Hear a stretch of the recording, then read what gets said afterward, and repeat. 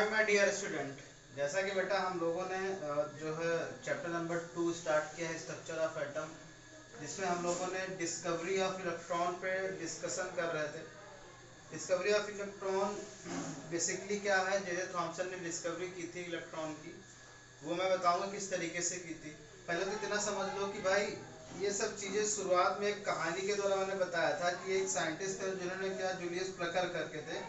जिन्होंने क्या किया? एक same to same atmosphere create किया इनसाइड द ट्यूब जिसको हम लोग कैथोड रे ट्यूब कहते हैं। क्या कहते हैं बेटा? हाँ कैथोड रे ट्यूब कहते हैं। तो यहाँ पे उन्होंने क्या किया कि उन्होंने, उस समय क्या हुआ? उस समय उन्होंने देखा था क्या कि जो बैड कंडक्टर होती हैं गैसेस आते एट ए बेटा low temperature and high pressure पे। उन्होंने कहा कि कोई कोई गैस कंडक्टर कंडक्टर नहीं हो सकती है जब जबकि उसमें प्रेशर का बेटा हाई हो टेम्परेचर कम हो। तो इसी फिनोमिना को उन्होंने आगे चालू किया। उन्होंने ही एक्सपेरिमेंट कर रहे थे। तो उन्होंने देखा कि कि अगर हम प्रेशर इनसाइड द ट्यूब क्या कर दे बेटा? बहुत ही कम कर दे। वैक्यूम पंप द्वारा पूरी एयर बाहर निकाल लें और और टेम्परेचर को हाई कर दे बेटा। ठीक है ना? टेम्परेचर क्या कर दे? हाई कर दें। तो क्या हो जाएगा बताओ? हाँ। क्या हो जाएगा बताओ बेटा। तो आपको पता है कि टेम्परेचर हाई कैसे कर सकते हो वोल्टेज के द्वारा? क्योंकि आपको टेम्परेचर हाई मतलब हीट हीट मत कर देना। हीट करने कोई मतलब नहीं। तो क्या हुआ कि जब इसमें उन्होंने गैसेस भरी, ठीक है ना? जैसे मान लो इन्होंने हाइड्रोजन गैस भर दी इसके अंदर, ठीक है? तो जब हाइड्रोजन गैस इसके अंदर भरी तो क्या देखते हैं कि एक रेस कैथोड से निकल के किधर जा रही है बेटा? एनोड की तरफ़ जा रही है। गैस भरते ही क्या हुआ बेटा? एनोड पे जाने लगी। ठीक है? फिर मैं, क्या हुआ? फिर ये हाइड्रोजन गैस हटाने के बाद इन्होंने भर दिया ऑक्सीजन गैस। ऑक्सीजन गैस में भी यही काम हुआ बेटा, कि क्या हुआ? कि एक रेस निकली, वो किधर जाने लगी बेटा? वो एनोड से, कैथोड से निकल के एनोड्स की तरफ़ जाने लगी। फिर उन्होंने नाइट्रोजन गैस भरी। नाइट्रोजन गैस में भी वही हुआ। क्या? कि यहाँ से निकल के कोई कैथोड से निकल के किधर जा रहा है बेटा? एनोड की तरफ़ जा रहा तो उन्होंने डिस्कवरी कर ली जूलियस प्लकर ने कैथोड रे की। रे आया अभी। रे मतलब एक एक, एक बीम ऑफ़ लाइट एक लाइट की तरह हुई उसको बोला गया रे। रे की तरह ये प्रतीत होने कि भाई कोई चीज़ कैथोड से निकल के किधर जा रही है, एनोड की तरफ़ जा रही है। तो ये चीज़ें उनको समझ में कि भाई ये चीज़ें तो जो गैसेस बदल बदल के गैसेस देख रहे हैं तो ऐसा क्या हो रहा है उन गैसेस में? चाहे वो हाइड्रोजन डाले, चाहे नाइट्रोजन डाले, चाहे ऑक्सीजन डाले, ठीक है ना? चाहे जो भी गैस डाल रहे हैं, वो देख रहे हैं क्या? डाल गैस को डालते ही क्या देख रहे हैं? कि उस कैथोड से कोई चीज़ निकल के किधर जा रही है? एनोड की तरफ़ जा रही है। ठीक है ना? ये चीज़ समझ गए? तो उन्होंने देखा कि बहुत ही जो है, ये चीज़ फिनोमिना हुआ, और ये कब, कैसे पता चला कि भाई कैथोड से निकल के एनोड की तरफ़ जा रहा? तो उन्होंने क्या किया? उन्होंने बस ये किया कि यहाँ पे एक चीज़ क्या लगा दी? परफोरेटेड मतलब छिद्रित एक प्लेट लगा दी। और यहाँ पे क्या हुआ? यहाँ पे बिल्कुल ऐसा ही ऐसा एक प्लेट बनाया। बस प्लेट के क्या किया था? जो यहाँ पे ये वाली, ये वाला जो पार्ट है, ये वाला, इन्होंने कोटिंग कर दी। कोटिंग कर दी जेडनस जिंक सल्फाइड। जिंक सल्फाइड यहाँ लगा दी। और सेम टू सेम क्या किया? एनोड के ऊपर छेद छेद बोलते ना, उस टाइप का एनोड लगा दिया। एनोड ये इलेक्ट्रोड होगा बेटा, और ये कैथोड इलेक्ट्रोड होगा। सेम टू सेम एटमॉस्फेयर वही क्रिएट हुआ। ये माइनस का है, ये प्लस का है। ये बोर्ड बैटरी कितनी बेटा? टेन की पावर फोर वोल्ट की। ओके और वैक्यूम क्रिएट कर दिया यहाँ पे। और ये तो प्रेशर तो था ही टेन की पावर कितना बेटा माइनस फोर एटीएम इतनी सारी चीज़ें कर दी। तो देखो क्या हुआ। ये परफोरेटेड समझते हो कि जैसे देखो बेटा तुमने देखा होगी बाथरूम में जो प्लेट नहीं लगी होती जिससे पानी निकल के जाता है, वो ऐसी प्लेट लगी। क्योंकि ये टू है, बिल्कुल ऐसी थी कि यहाँ पे सारे में, सारे प्लेट में क्या था बेटा? होल्स होते हैं। जिनको क्या बोलते हैं परफोरेटेड प्लेट बोलते हैं। परफोरेटेड जिस जिस प्लेट में होल्स हो, ठीक है ना? तो होल्स होने मतलब क्या हुआ? ये जान कैसे पाए कि भाई ये एनोड से कोई चीज़ कैथोड से निकल के एनोड की तरफ़ जा रही है? तो उन्होंने यही देखा, क्या एक्सपेरिमेंट देखा कि कोई चीज़ जो है ये कैथोड से निकल के एनोड की तरफ़ इसलिए जा रही है क्योंकि ये बेटा जब ये जाती थी तो ये चीज़ जल जाती थी, चमकती थी ये चीज़। ये यहाँ पे, ऐसे चमकती थी। यानी कि ये जो फ्लोरेसेंस लगाए हैं बेटा फ्लोरेसेंस समझते हो जिसे डीजे डीजे वाले नहीं होते, जो जो जो फ्लोर होते हैं, जहाँ जिसपे बेटा आप थोड़ा सा पैर रखोगे तो वो चमकने लगता है। उसी तरीके से मतलब समझो, जब गैस डाली इन्होंने, अब ये परफोरेटेड प्लेट डाली। परफोरेटेड प्लेट डालने का क्या मतलब था? परफोरेटेड प्लेट डालने का ये मतलब था कि कि वहाँ पे अगर कोई चीज़ उस तरफ़ जा रही है तो हम अगर परफोरेटेड जाएँगे तो उनको पास होते हुए, पास हो रही है, वो रेस क्या हो रही है बेटा? पास हो रही है। तो पास हो रही तो वहाँ पे जलना चाहिए तो वैसा ही हो रहा था। तभी तो पता चला कि कैथोड से निकल के एनोड की तरफ़ जा रही बात समझ रहे हो? क्योंकि हमको ये नहीं पता चल रहा था कि भाई, ये एनोड से कैथोड की तरफ़ जाएगी कि कैथोड से एनोड की तरफ़ आ रही ये तो तभी पता चलेगा कि जब हम यहाँ पे क्या करें परफोरेटेड प्लेट डालें और यहाँ पे कुछ ऐसा लगाएँ कि वो चीज़ चमके वो चीज़ लाइट करे ग्लो करे तो समझ उन्होंने वही किया बेटा। वहाँ पे क्या लगा दिया? एक कोटिंग लगा दी, जिसके ऊपर अगर कोई पार्टिकल पड़ेगा तो वो चमकेगी, वो ग्लो करेगी, वो लाइट इमिट करेगी, ठीक है ना? तो वही वही इसीलिए एनोड प्लेट को क्या कर दिया उन्होंने? परफोरेटेड कर दिया। तो इससे ये पता चलता है कि कोई चीज़ कैथोड से निकल के किस तरफ़ जा रही है बेटा? एनोड की तरफ़ जा रही है। तो ये चीज़ पता होगी कि कोई चीज़ कैथोड से निकल के एनोड की तरफ़ जा रही है। उस चीज़ को क्या बोला गया बेटा? Cathode ray. क्या बोला गया? कैथोड रे बोला गया, ठीक है? तो इस तरीके से आपको ये समझना है बेटा कि कैथोड रे क्या होती है। कैथोड रे क्या होती है? कैथोड रे के बारे में अगर बात करें तो कैथोड रे बेसिकली क्या है? एक चीज़ कैथोड से निकल के किधर जा रही? किधर जा रही बेटा? एनोड की तरफ़ जा रही। तो कैथोड से निकल के नहीं जा रही। बात समझ रहे हो?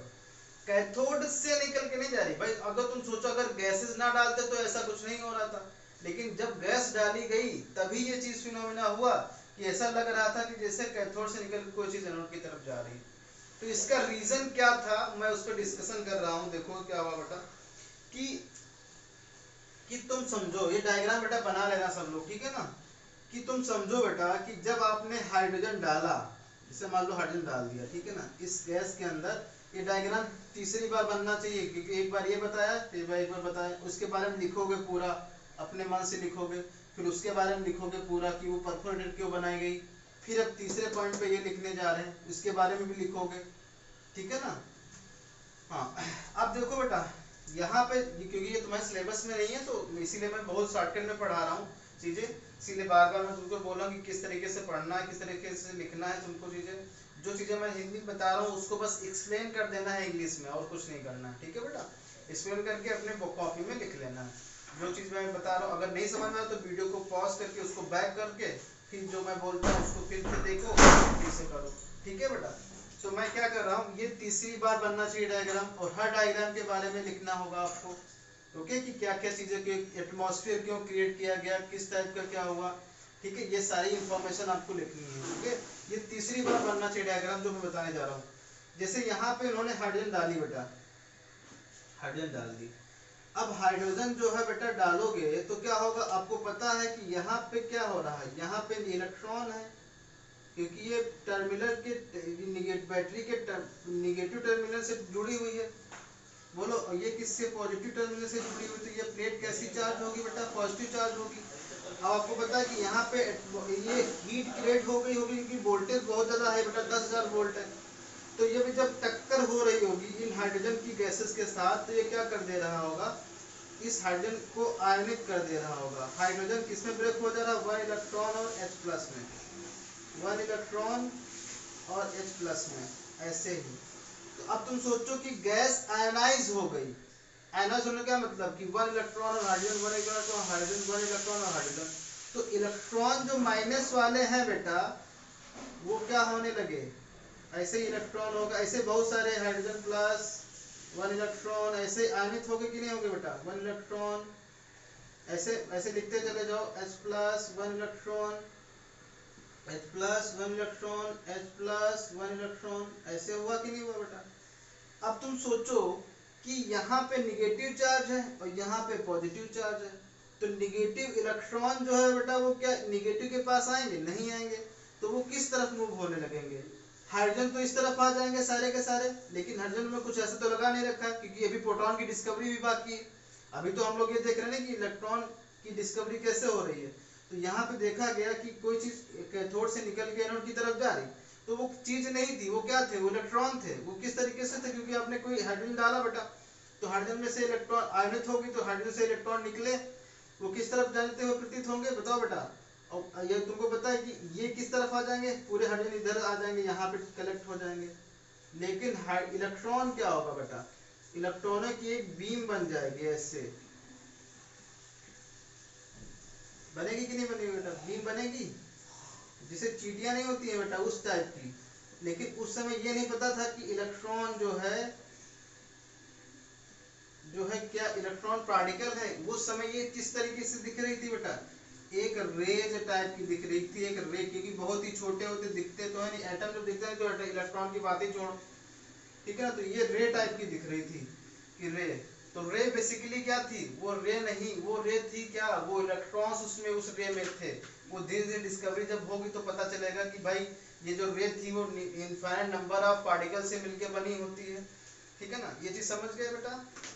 क्या हुआ कि जब हाइड्रोजन आपने डाला तो हाइड्रोजन संपर्क में पोलराइजेशन की पॉजिटिव या निगेटिव या पॉजिटिव है। जब संपर्क में आए हाइड्रोजन गैस तो ये हाइड्रोजन गैस आयोनिज आयोनाइज हो गई आयोनिक हो गई। आयोनिक क्या बोलते हैं उसको? आयोनाइज हो गई आयोनाइज हो गई। ठीक है बेटा? तो आयोनाइज हो गए मतलब क्या हुआ कि इलेक्ट्रॉन एक तरफ़ हो गए और हाइड्रोजन प्लस एक तरफ़ हो गया। हाइड्रोजन प्लस होने क्या इलेक्ट्रॉन एक तरफ़ होने क्या मतलब है? क्योंकि इलेक्ट्रॉन यहाँ निगेटिव की तरफ़ तो आ नहीं सकता, किस तरफ़ जाएगा? पॉजिटिव की तरफ़ जाएगा। तो किसी, उतनी क्योंकि वोल्टेज बहुत ज़्यादा हाई है और पोलराइजेशन बहुत ज़्यादा है, जिसकी वजह से इलेक्ट्रॉन क्या हो रहा है बेटा? वो ऐसा लग रहा है कि कैथोड से निकल के एनोड की तरफ़ जा रहे वो कैथोड से निकल के नहीं जा रहे थे, वो कहाँ से निकल रहे थे बेटा? वो गैस से निकल रहे थे। बात समझ रहे हो कि नहीं? बोलो तो गैस से निकल थे अब जैसे तुमने डाला जैसे तुमने हाइड्रोजन डाला था, अब हमने डाल दिया, ये चौथी बार बनना चाहिए। ये चौथी बार डायग्राम बनना चाहिए ओके बेटा? अब तुमने डाला था हाइड्रोजन ठीक है ना? मतलब साइंटिन डाला हाइड्रोजन फिर डाला यहाँ पे ऑक्सीजन तो ऑक्सीजन डालोगे तो ऑक्सीजन भी तो आयनाइज हो जाएगी बेटा। किसमें होगी, बोलो ओ प्लस में और वन इलेक्ट्रॉन में। हो जाएगी कि नहीं हो जाएगी, बोलो? तो O plus one electron O plus one electron O plus one electron. तो ये इलेक्ट्रॉन किस तरफ़ मुँह होने लगेगी? इस तरफ़ बीम की तरफ़ और ऑक्सीजन इस तरफ़ आ जाएँगे। यानी कि हर एक तुमको पता है बेटा हर एक गैस या हर एक चीज़ इलेक्ट्रॉन से मिलकर बनी तो हर एक चीज़ से इसीलिए डिफरेंट डिफरेंट गैसें डालोगे तो दो हर बार कैथोड मिलेगी आपको। हर बार मिलेगी। तो ऐसा ये हो रहा होगा कि भाई कि, कि किसी भी गैसेस का जो कॉन्स्टिट्यूएंट पार्टिकल होता है, वो इलेक्ट्रॉन ही होगा। लेकिन अभी तक ये पता चला कि इलेक्ट्रॉन की भी डिस्कवरी नहीं हुई। अभी क्या डिस्कवर हुआ है बेटा? अभी केवल केवल कैथोड रे डिस्कवर हुआ है। ये चीज़ बताएगी कि कैथोड रे किसी भी गैस पे डिपेंड नहीं कर रही है। हर गैस में कैथोड रे इमिट हो रही है। यानी कि सबसे बड़ा कारण मिल गया आपको। क्या बेटा? कि कैथोड रे जो होगी बेटा, वो क्या होगी? वो किसी भी गैस पे डिपेंड नहीं करती है। वो डिपेंड क्यों नहीं करती? क्योंकि हर एक गैस में क्या होते हैं? इलेक्ट्रॉन होते हैं। हर गैस इलेक्ट्रॉन निकल के कहाँ चले जाएँगे? तो ये चीज़ जब देखा कि डिफरेंट डिफरेंट तो क्या लिखोगे बेटा? ये चौथे डायग्राम के नीचे लिखोगे कि जो cathode ray does not depend upon the type of gas because हर एक गैसेस में इलेक्ट्रॉन होते हैं और वो इलेक्ट्रॉन किस तरफ़ चले जाएँगे? कैथोड से निकल के एनोड की तरफ़। अभी बाबा मैं इलेक्ट्रॉन का नाम ले रहा हूँ, लेकिन अभी इलेक्ट्रॉन की डिस्कवरी नहीं हुई है। एक्सपेरिमेंट चल रहा है, याद रखना। लेकिन मैं तुमको उनको डिलेट कर रहा हूँ डिलेट करने की कोशिश कर रहा हूँ कि इलेक्ट्रॉन इस तरीके से चीज़ें डिस्कवर हो रही हैं। ठीक है ना? अब नेचर पता करना कि भाई कैथोड रे का नेचर कैसा है। वो पॉजिटिव होती है कि नेगेटिव होती हैं? तो लिखो हेड डालोगे बेटा nature of cathode ray nature of cathode rays तो नेचर कैसे पता किया बेटा? बस उन्होंने क्या किया? क्या क्या बेटा देखो? उन्होंने जो सीआरटी थी ना सीआरटी मतलब जो आपके पास ये थी कैथोड रे ट्यूब थी, बस उसमें उन्होंने क्या कर दिया? ये तो आपको पता ही है कैथोड रे था। ये क्या था? एनोड था। ये वोल्टेज लगा हुआ था। अब मैं बार बार नहीं लिखूँगा, ठीक है बेटा? और यहाँ पे प्रेशर कितना था बेटा? टेन की पावर माइनस फोर एटीएम ये तो टेन की पावर कितना बेटा? फोर वोल्ट इतना सारी चीज़ें थी। ओके बेटा? यहाँ पे प्रेशर लिख दो। एटीएम ठीक है? तो उन्होंने क्या किया? एक्सटर्नल इलेक्ट्रिक फ़ील्ड अप्लाई की। नेचर में पहले लिखोगे external electric field external electric field apply किए बेटा।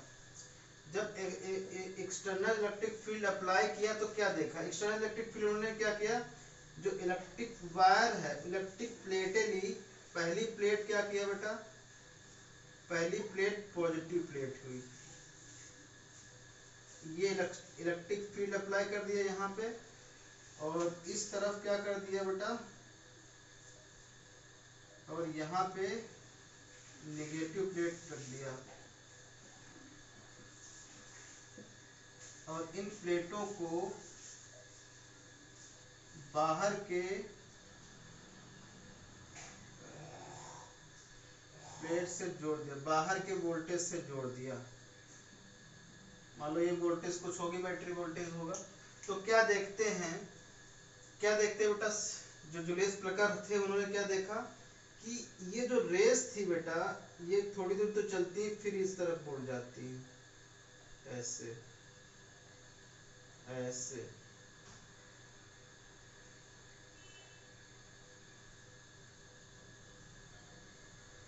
तो ऐसा क्यों हुआ? बताओ। और यहाँ पे कुछ चीज़ें नहीं होगी। ये ये परफोरेट चमकने लगी लाइट क्योंकि ये परफोरेट कोटिंग है ना बेटा? प्लेट तो ये चमकने लगी। तो ऐसा क्या हुआ? तो इससे ये पता चला कि जब एक्सटर्नल इलेक्ट्रिक फ़ील्ड लगाई गई तो ये पता चला बेटा रिज़ल्ट क्या आया?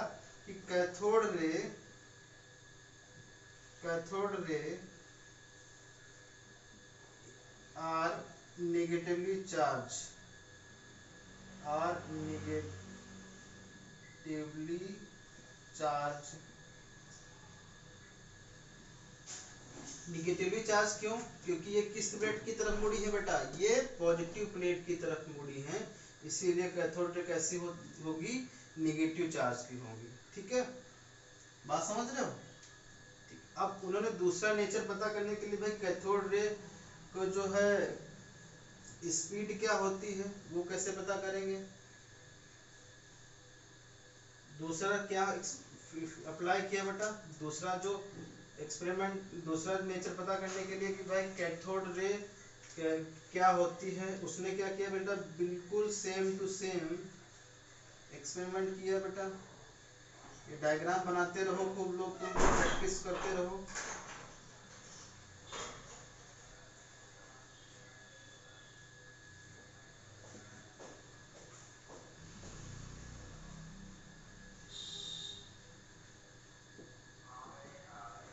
अब ये समझ लो प्रेशर है ये, याद रखना, ठीक है ना? वैक्यूम क्रिएट कर लो। और इन्होंने यहाँ पे क्या लगा दी? एक वाल लगा दी वाल लगा दी, और यहाँ पे एक व्हील लगा दिया जो घूमता था। ओके बेटा? तो क्या देखा इन्होंने? कि ये तो रेत चली गई। ये रे चली जाएगी।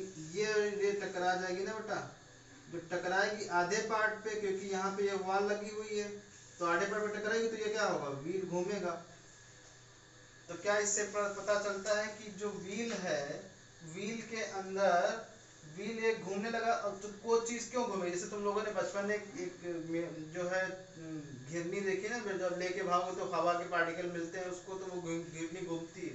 तो मतलब क्या हुआ कि ये एक्सपेरिमेंट प्रूफ करता है कि जो कैथोड रे है बेटा, वो infinite number of negative particle से मिलके बनी है। ये एक्सपेरिमेंट ये प्रूफ करता है। ये होता है बेटा, इस एक्सपेरिमेंट को कहेंगे पडल व्हील पडल व्हील एक्सपेरिमेंट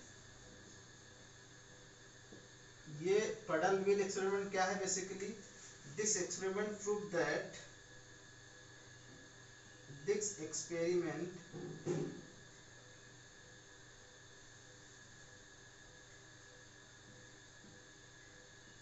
prove that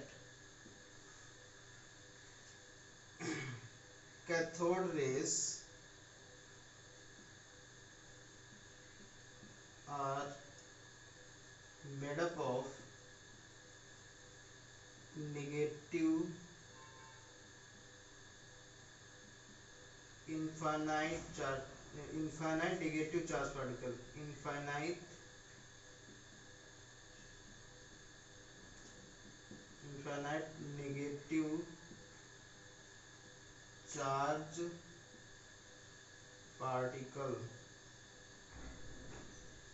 ये एक्सपेरिमेंट ये प्रूफ कर रहा है। पडल भी एक्सपेरिमेंट क्या प्रूफ कर रहा है कि ये जो ये जो है बेटा कैथोड रे है, इसके अंदर इनफाइनाइट नेगेटिव चार्ज पार्टिकल है। क्योंकि ये नेगेटिव पॉजिटिव प्लेट की तरफ़ मुड़ी थी और इसने इसने क्या किया बेटा? पडल व्हील को भी चला दिया। ठीक है ना बेटा? पडल व्हील को भी चला दिया। तो समझ जाओ क्या होगा ये। ये एक्सपेरिमेंट समझ गए ना? तो ये, इस एक्सपेरिमेंट से ये पता चलता है कि क्या? कि जो जो इलेक्ट्रॉन होते हैं वो निगेटिव चार्ज पार्टिकल की तरफ़ मुड़ जाते हैं। ठीक है ना बेटा? तो इस तरीके से आपको जो थोड़ी सी इंफॉर्मेशन थी वो इलेक्ट्रॉन के बारे में वो मैंने बता दी आपको। एक बार आप एन पढ़ लीजिए, क्योंकि है सिलेबस में है नहीं, लेकिन आपके अंदर जो थोड़ी सी इलेक्ट्रॉन के बारे में थोड़ी सी जानकारी चाहिए थी, वो मैंने दे दी है आपको। अब हम कल पढ़ेंगे डिस्कवरी ऑफ़ क्या बेटा? प्रोटॉन के बारे में। इसके अंदर जो जो केवल और केवल उन्होंने निगेटिव चार्ज पार्टिकल के ऊपर जो चार्ज होता है, उसको उसको जो है कैलकुलेट किया था जे थॉमसन ने। तो इसीलिए उनका नाम आ गया था उनका कि जे थॉमसन ने इलेक्ट्रॉन की डिस्कवरी की थी। ठीक है ना बेटा? और कोई बात नहीं। थी ओके? Thank you